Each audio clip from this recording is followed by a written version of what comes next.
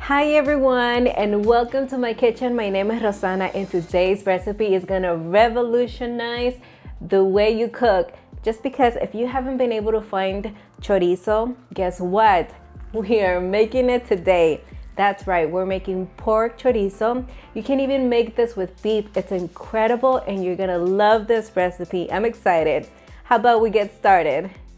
Okay, the first thing we're gonna do is prep the dried peppers. And what I have here is four guajillo peppers and one pasilla.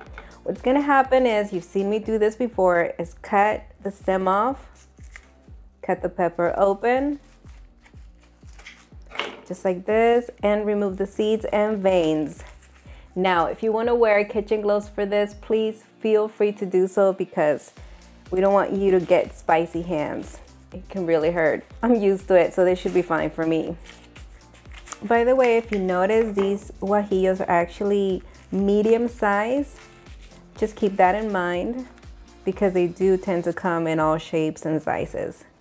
Do the same thing with one large pasilla chile. Did you know pasilla actually means little raisin because of its wrinkles? It looks very similar to an actual raisin. It's lightly sweet, has a grassy flavor to it, slightly acidic, and mild in heat. All right, these are all the dried peppers we're using today. Now, we're going for a mild pork chorizo. If you want it spicier, I suggest you add two to three chiles de árbol to give you that nice kick of heat. All right, let's head to the stove. Come on. I bet you recognize my comal, right? You've seen this in plenty of videos when I do roasting and we're gonna be toasting the chiles on here again. All right, so just place them on here and I have the heat on low because we don't want them to burn. So just turn them as needed, or should I say continuously, because you don't want them to burn what'll happen is they're gonna turn really bitter and it's gonna ruin your sauce. Believe me, you don't want that. If that ever happens to you, I suggest you throw away the peppers and just start over. So what you want here is for them to release that beautiful fragrance. And as soon as they start to do that, we're gonna remove them. I can smell these already. And if you touch them, they're hot on both sides as well. All right, so I'm gonna go ahead and remove them. At this point, let's go ahead and rinse them. I've rinsed the dried peppers. Now we're gonna cut them into bite-sized pieces and just place them inside a large container. Then we're gonna add enough water to cover them. That way they rehydrate. And this process takes about five minutes. Look what I have here. This beautiful piece of rock called molcajete is gonna do wonders in this recipe. So if you have one at home, make sure you bring it out because we're gonna be mashing our spices and herbs and we're gonna create a beautiful, flavorful paste that's just amazing. Now, if you don't have a molcajete at home, don't worry because I will let you know where to incorporate all of these ingredients later in the recipe. As you can see, I have placed a clean kitchen towel under the molcajete because I don't want it to scratch the surface that I'm working on. So feel free to do that too. Okay, so we're gonna start with four peeled garlic cloves. Put them right in there. Also do one teaspoon of whole black peppercorns and four whole cloves right in there. What I like to do is tap on the ingredients first because I don't want them to start jumping around. When the oils begin to release from the garlic and you see all of the peppers crushed, what I like to do is add a quarter teaspoon of kosher salt to help break everything down. Everything inside the molcajete has broken down. It doesn't have the consistency that we want yet, but it is time to add the rest of the ingredients and that's gonna be half a teaspoon of whole cumin, half a teaspoon of dry oregano and half a teaspoon of dry marjoram. And finally, half a teaspoon of dry thyme. Now let's put some muscle into this and get this really finely ground. Right now we're gonna add a little bit of apple cider vinegar just to get all of that paste mixed in, loosened up. So go ahead and add one tablespoon of apple cider vinegar. You can use white distilled vinegar as well. Mix everything in with the rock. Transfer it to a different container. There's still so much flavor in here. We're gonna go ahead and remove it. So to do that, we need to add one tablespoon of water in here.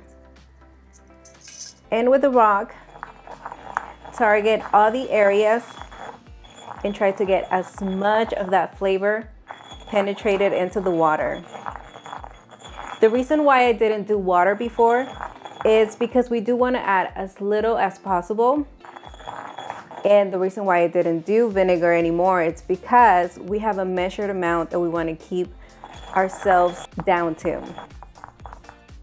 Just go ahead and transfer all of that into the same container you have the paste in. Okay, now set this aside. Let's move on to the blending part of this recipe. If you don't have a molcajete, add all of those ingredients into the blender at this point. Go ahead and add all of the dried peppers, the ones we hydrated, and only add the peppers, not the water. Isn't it awesome that we can make our own chorizo? I get super excited. okay? Do not throw the water from the guajillos away because we may need it later on, so keep it on the side. Now add in a quarter of a medium yellow onion and half a cup of apple cider vinegar and you can also use white distilled vinegar. Let's blend this until thick and completely broken down. Look at the results.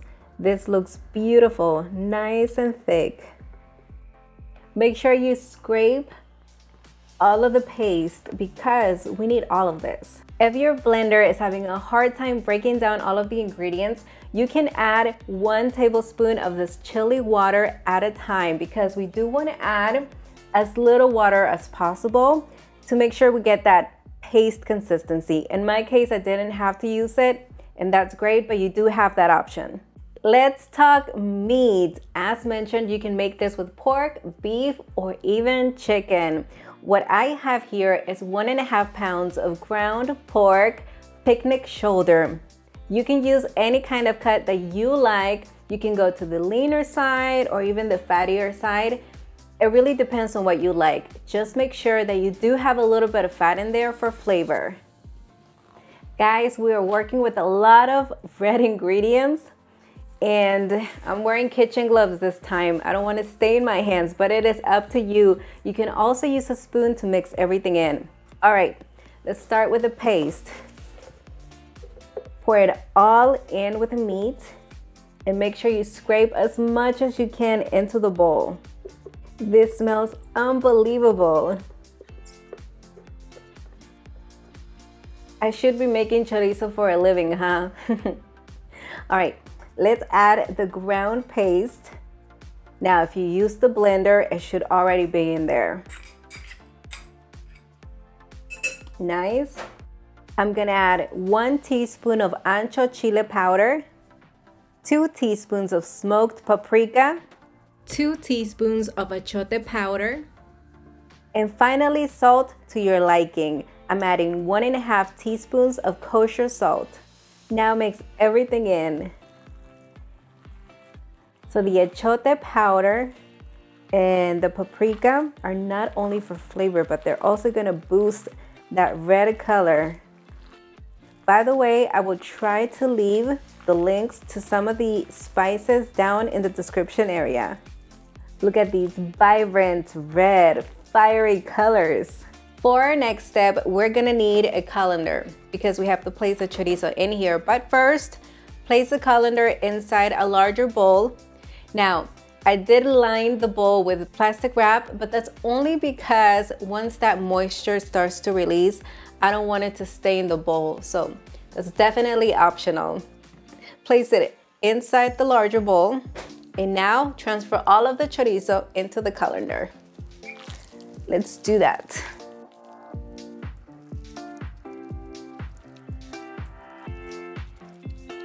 just like that. Now we're gonna cover it with plastic wrap and leave it in the fridge overnight. And the reason we are letting it sit in the fridge overnight is because it will release excess moisture, giving us the right consistency for the chorizo. All right, for time purposes, I have one here that I made yesterday. This looks so good. Come on, let me show you what it looks like. All right, check that out. It's not as wet looking and look at all that liquid it released.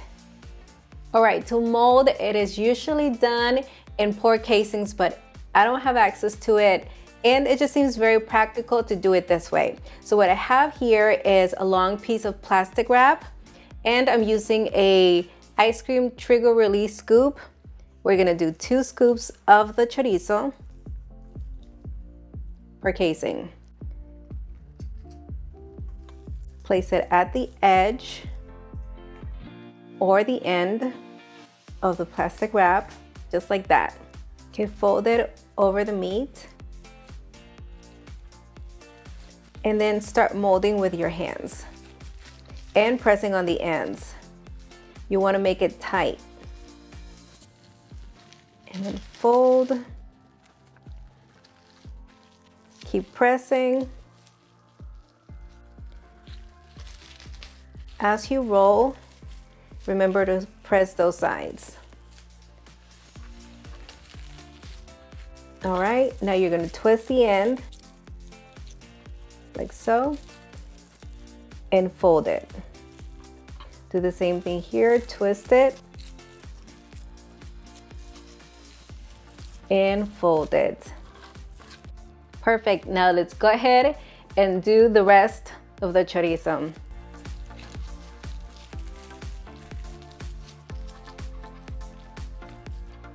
Done. Aren't these cute? Plus, I think I have the hand for it too. A hidden talent, huh? All right, I'm having fun. You are so gonna have fun making these, I promise you. And when you taste them, you're gonna be thrilled. I've already had my taste, so I'm definitely excited to dig in later on when it's cooked. Ta-da, these are done. They look beautiful. I actually left a little bit less than half outside because we're gonna cook it right now and make some delicious tacos. The rest are gonna go into the refrigerator and you can also freeze them. They are freezer friendly. Isn't that awesome? All right, let's keep it moving. Nelson, can you put this in the fridge? And I'll head to the stove. Okay, to cook it, I have a large pan over medium heat and I did go ahead and add a couple of tablespoons of olive oil. Now, if you know you added a lot of fat to your chorizo, don't add any and just add the um, chorizo to the hot pan. And then if you need it, you can add some, but I really doubt it. Okay, go ahead and break it apart. And this is about two of those logs that I did earlier. So it would have been a total of maybe six depending on the size. Go ahead and stir as needed until the chorizo is fully cooked. Oh, smells so good. It's ready. Let's make some tacos. Chorizo tacos are sold everywhere in Mexico and they are the type of taco you daydream about. Add the cooked chorizo to the center of the corn tortillas, sprinkle over them chopped onion, cilantro, salsa, and the kiss of lime juice.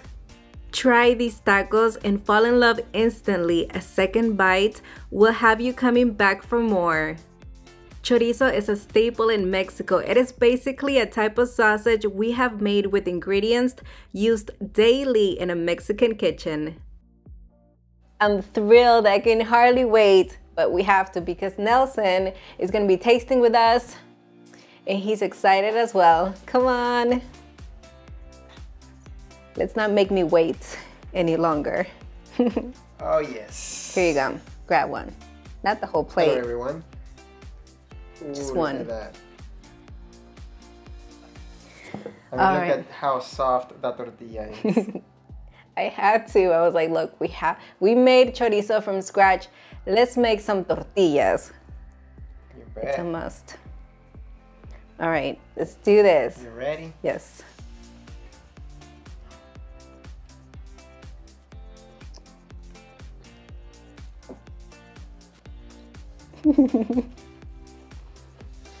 Mmm. This is incredible. There's no comparison. I mean, there's just not. Yeah. Plus, you can feel all the love you put into it. And flavors. This is amazing. No, this is lovely. You know, they taste different than Salvadorian chorizos, but they both are equally delicious. Look, I remember growing up, we used to not always have chorizo because I'm not sure, maybe it was expensive. I'm not really sure why, but it was almost like a special moment. So every time my mom would go to the nearest city, which was like three hours away, we would always ask for chorizo and she would bring it and we would enjoy it so much. So every time I have chorizo, I have such great memories. I mean, it's incredible. And now that I can make it at home, it's even more special. Yeah. So, cheers. Nah. you can't do that, Nelson. it's a little too much. No. Let, let me bow down. No. These chorizos are awesome. Hey, if your husband gets to do that for you, then I guess it's really worth it. yes, it is. No, but this is awesome. All right. Thank you. you guys, I love it. I love sharing my recipes with you. And not only that, like I get to share a piece of my childhood, my culture. This is awesome. Thank you so much for watching, tuning in, and giving me the opportunity to share my creativity and also what I have to offer. well, I really Hope you enjoyed this recipe. Don't forget to subscribe, like this video, and click the notification bell. Also, don't forget that you can follow me on all of my social media platforms. All right, until the next one,